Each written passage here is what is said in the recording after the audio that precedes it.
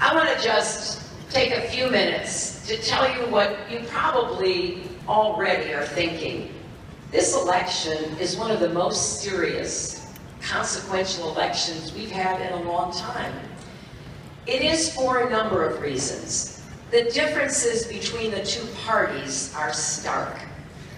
Now, I believe the facts prove that our economy does better when we have a Democrat in the White House.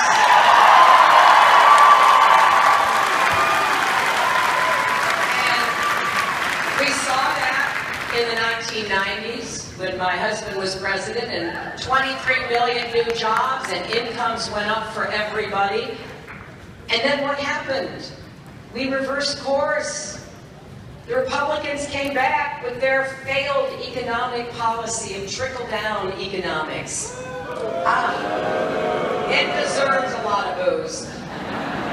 When I was in the Senate, I was arguing and voting against these policies because I believed then it would reverse the economic progress we were making.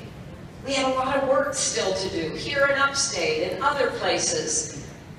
But they got their way. Slash taxes on the wealthy, take their eyes off of the financial markets and the mortgage markets, and we know what happened.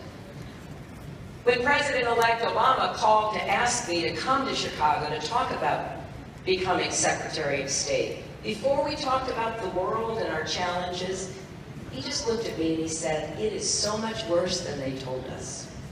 We were losing 800,000 jobs a month. Nine million Americans lost their jobs. Five million homes were lost. And $13 trillion in family wealth was wiped out. Now, why am I telling you this? Because I want you to remember it. I want you to know what the real different choices are. We have people running for president on the Republican side, led by Donald Trump,